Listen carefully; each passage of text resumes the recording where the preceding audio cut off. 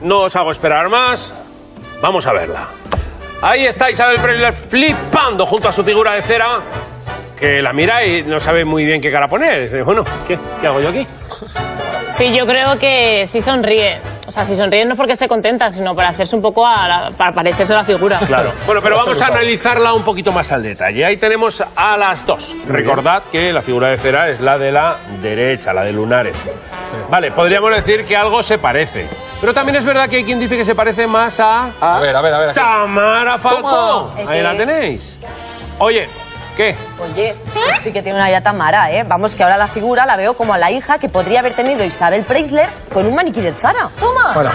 Al único que le parece una mezcla entre Isabel Presley y la infanta Elena es a mí, pero bueno, ya está. Esto es que me parece. Pero tú porque tienes una gradación muy rara en las gafas. No sé. En esa figura de cera hay mucha gente. No lo sé, bueno, lo bueno es que ahora ya tienen el molde para cuando hagan la figura de Tamara Falcón. Eso que claro, sí. ella no ha hecho méritos aún para estar en el Museo de Cera, no como su madre que ha hecho lo del... el- Tamara, tienes tu figura ya en cuatro días, la tienes ahí, hombre. Claro.